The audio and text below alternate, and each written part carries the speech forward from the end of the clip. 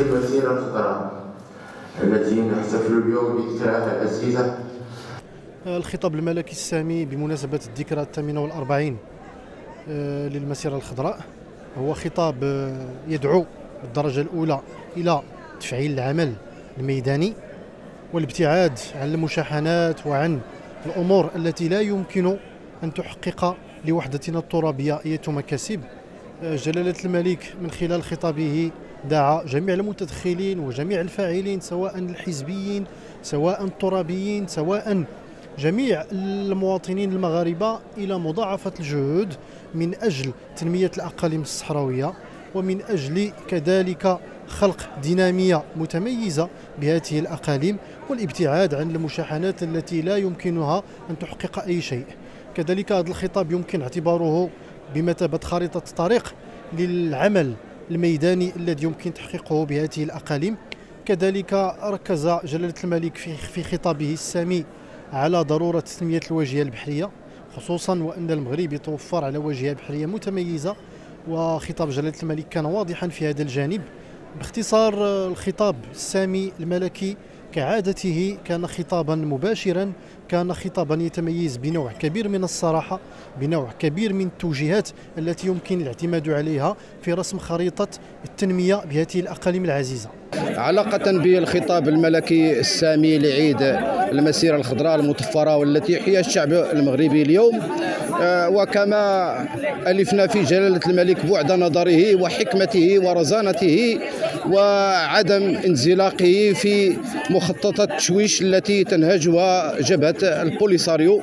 وذهابه ذهاب صاحب الجلالة إلى التركيز على البعد التنموي لمناطقنا الجنوبية وكذلك للبلدان المطلة على المحيط الأطلسي حيث أصار صاحب الجلالة نصره الله على أن هناك 23 دولة يجب أن توحد جهودها لكي تتم استغلال الواجهة الأطلسية في بعدها الاجتماعي وبعدها الاقتصادي وبعدها الأمني كما عرج صاحب الجلالة على دول الساحل والتي ركز صاحب الجلالة والتمس من خلالها بل واقترح أن يكون هناك تجمع لدول الساحل للاستفادة من المحيط الأطلسي.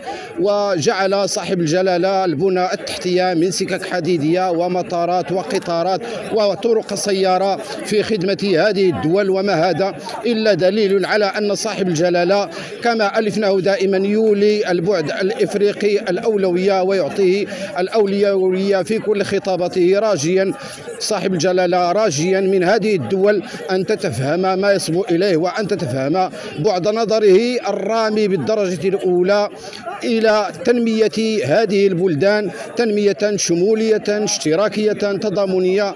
وهذا هو النهج وهذا فلسفة صاحب الجلالة وحكمته ومدى تبصره عوض أن يرد على شرتمة البوليزاريو. فنحن نقول لهم كمغاربة بلسان محمد السادس نصره الله بأن المغرب بلد العمل وليس بلد الترهات. ونصر الله صاحب الجلالة وأبقوا ذخرا وملدا لهذا الوطن وشكرا لكم. اليوم نحضر في إطار فعالية الاحتفال بالذكرى الثامنة والأربعين لذكرى المسيرة الخضراء المظفرة. ومرة أخرى صاحب الجلالة الملك محمد السادس نصره الله يؤكد على تثمينه لكل المبادرات التي تقام بأقاليمنا الجنوبية الحبيبة. كذلك يؤكد على ضرورة يعني استكمال المشاريع التنموية الكبرى بالأقاليم الجنوبية.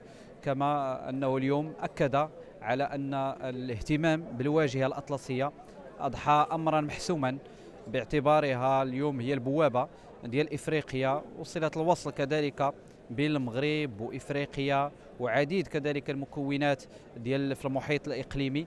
آه، فشيء جميل اليوم أنه الاهتمام بالجانب السياحي في هذه الواجهة الأطلسية وكذلك التأكيد على أنه آه، تلزم هذا الاهتمام بالواجهة الأطلسية والرقي بها يلزم آه، أننا أو أن الدولة المغربية آه، تهتم أكثر بالبنية التحتية وأن تسهم كعادتها تحت إشراف وبطبيعة الحال المبادره ديال صاحب الجلالة الملك محمد السادس نصر الله على الرقي بالبلاد ديالنا. وكنشوفوا أن المغرب الحمد لله آه، كان ولا زال وسيظل دائما في خدمة المواطنين آه، ديالو رعاية صاحب الجلالة وكذلك في خدمة هذه المملكة المغربية اللي كنشوفوها دائما من حسن إلى أحسن. آه، بسم الله الرحمن الرحيم. اليوم 6 نوفمبر 2023 بمقر عملة زقانية ملول.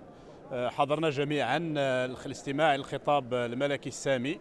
بمناسبة هذه الذكرى ذكرى 6 نوفمبر المجيدة المسيرة الخضراء المضفرة آه، بطبيعة الحال بهذه المناسبة نتمن مضامين الخطاب الملكي السامي اللي بطبيعة الحال ذكر بطبيعة الحال سياق هذا الحدث آه، الوطني الهام اللي به كما جاء في الخطاب ديال جلالة الملك آه، تم استعادة يعني الأقاليم الجنوبية. وأكد جلاله الملك على أنه هذه الواجهة الأطلسية يعني هذا هو المعطى الجديد في الخطاب الملكي. إذا كانت الواجهة المتوسطية هي واجهه الواجهه ديالنا والبوابة ديالنا نحو أوروبا فإن الواجهة الأطلسية هي بوابة المغرب نحو أفريقيا وكذلك مطلة على على أمريكا.